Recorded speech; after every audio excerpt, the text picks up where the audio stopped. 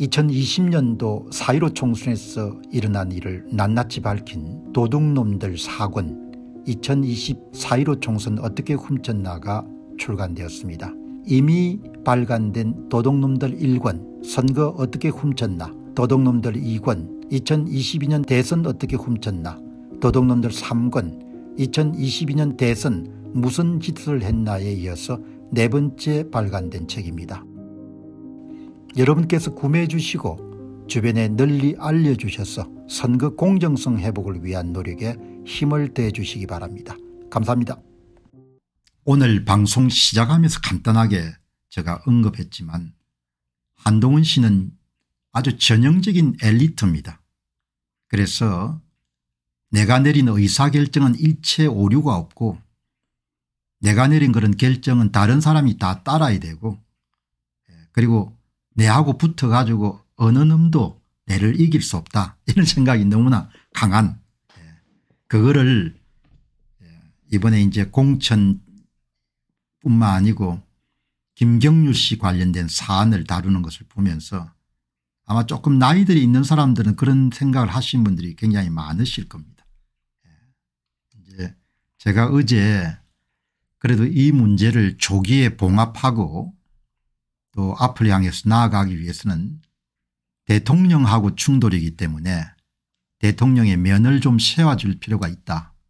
그래서 이런 상황 같으면은 뭐 크게 손을 쓰지 않더라도 김경률 씨가 사퇴해 가지고 그렇게 출구를 찾는 것이 좋은 대안이 아니겠느냐 그렇게 어제 제가 이야기를 했습니다. 그런 내용을 뉴데일리 신문에 대통령 관계자하고 통화 내용을 기사화시킨 내용을 참조했지만 제가 갖고 있는 생각입니다.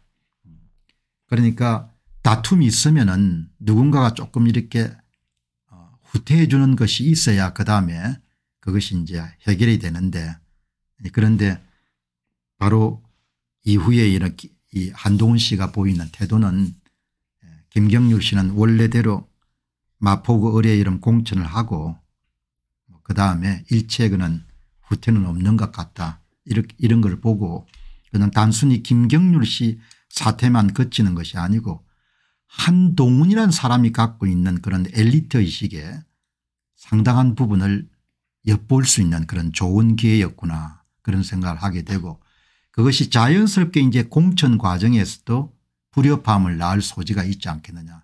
그런 생각이 드는 거죠. 이 그거를 이제 그런 생각을 하고 있었는데 오늘 뉴데일리 신문의 일면 톱 기사에서 톱 기사에서 그 점을 분명히 지적하네요. 예. 김경률 발 윤한 갈등은 1라운드고 더 큰 화약고가 기다리고 있다. 예. 이렇게 보는 거죠. 예. 그리고 이제 한동훈 씨는 또 본인의 야심이 있는 겁니다. 본인의 야심이 있기 때문에 본인 디자인대로 총선을 치르고 그리고 본인이 책임지겠다 이렇게 생각하는 겁니다. 그러니까 훨씬 더 큰 책임은 한동훈 책임보다도 대통령 책임인데 일체 대통령이 여러분들 제시하는 부분들은 수용하거나 고려할 필요가 없다. 예. 내가 비대위원장을 맡았기 때문에 총선에 대한 전적인 재량권을 내가 갖고 있다 이런 종류의 이야기를 계속 이렇게 예, 윤 원내대표라든지 아니면 이관섭 비서실장과의 그런 대화에서 나오는 아주 중요한 내용이 내가 결정하고 내가 책임지는 것이다 이런 내용이 많이 나오거든요. 그래서 대통령이 그렇지 않더라도 힘든데 참 힘드실 것 같습니다. 그러니까 대통령을 이제 두둔해야 될 그런 상황이 돼버렸으니까 인생이 좀 얄궂네요. 예. 아주 강적을 만난 겁니다.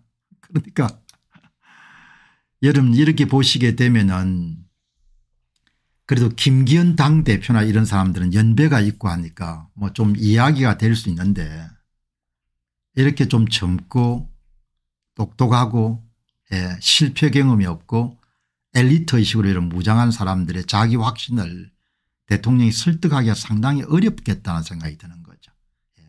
예. 국민의힘 내부에서 예, 김경률 파동 이후에 공천 갈등으로 확전될 것을 우려하고 있다. 정확한 지적이거든요. 예. 예. 내 페이스로 다 하겠다고 이러면 하는 것이 여당 공천관리위원회 한동훈이 점 찍은 김경률 출마 서울 마포울 전략 공천 기록 용산 대통령실은 찍소리 하지 말고 그냥 내가 결정한 대로 다 따라라 이건 겁니다.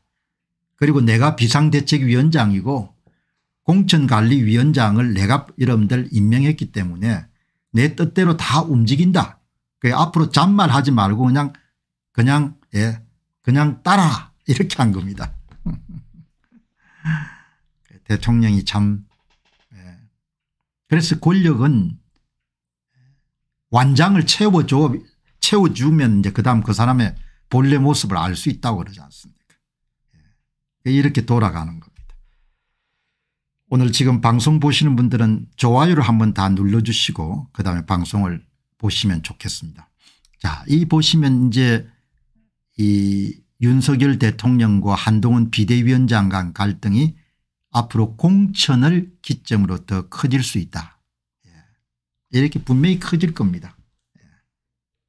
뭐 자기 성찰이나 반성이 절대 없으니까 그 실패 부분 경험이 절대 없으니까 이번 총선 반드시 내 페이스대로 하면은 내가 디자인한 대로 하면은 총선 반드시 이긴다 이렇게 한동훈 씨가 지금 생각하고 있을 겁니다.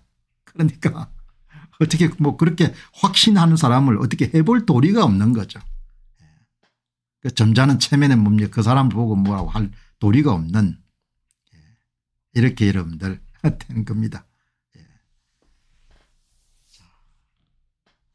이 분명히 한동훈 위원장은 국회 출근길에서 기자들과 만나서 김경률 의원의 사태가 양측 간 출구 전략이 될 수 있다는 주장에 대해서 그런 얘기를 들은 바가 없다고 일축했다. 예, 이렇게 나오는 거죠. 예, 그래서 아주 대통령이 많이 이 힘드실 것 같다.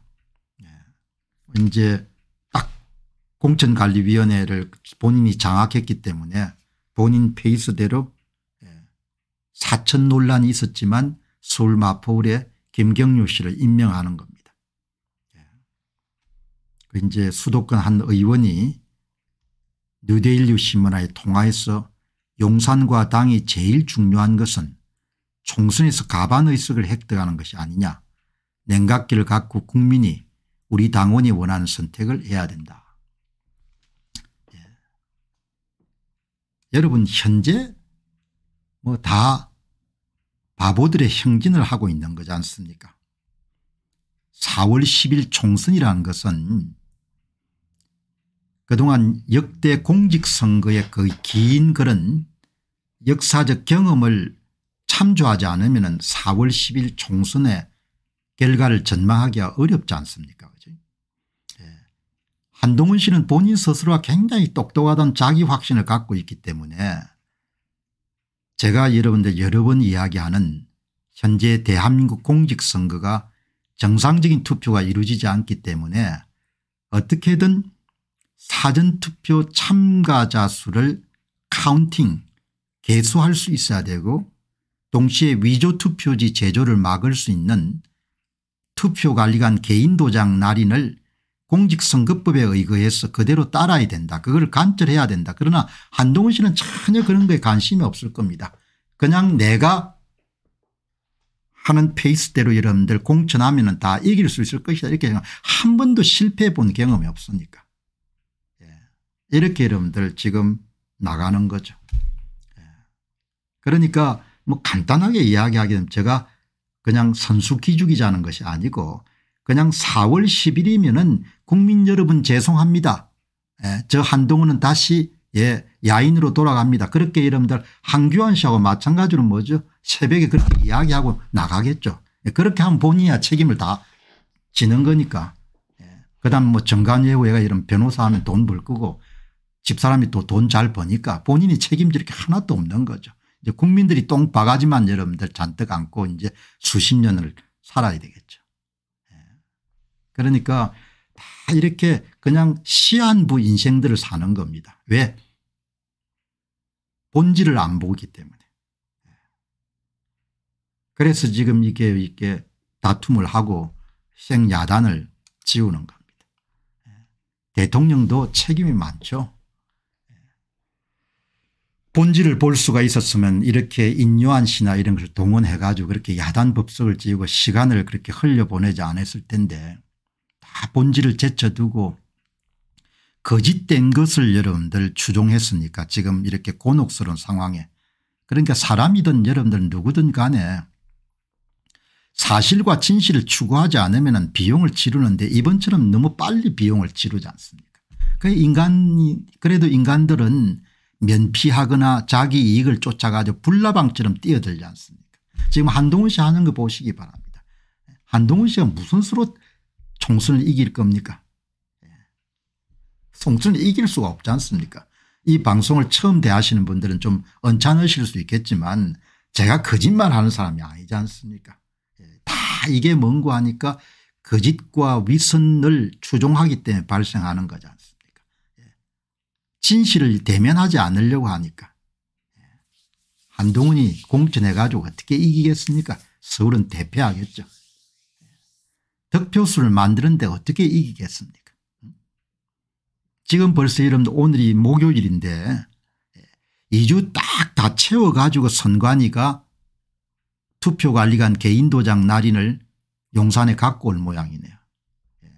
그리고 뭐뭐 뭐 이렇게 해가지고 몇 주 끓이게 되면 그 다음에 뭡니까 예, 총선 가까우니까 시간이 없어서 못한다 그런 식으로 끌고 갈 가능성이 높은 거죠.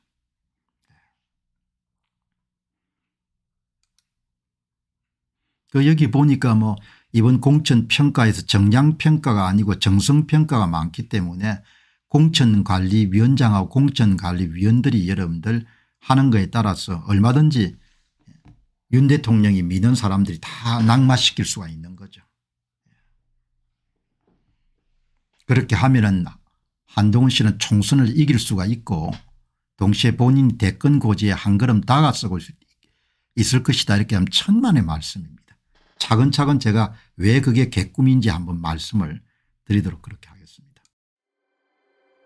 안녕하십니까 공병호입니다. 그동안 공병호 tv는 선거 공정성 회복과 자유민주주의 체제의 보존과 발전을 위해 노력해왔습니다.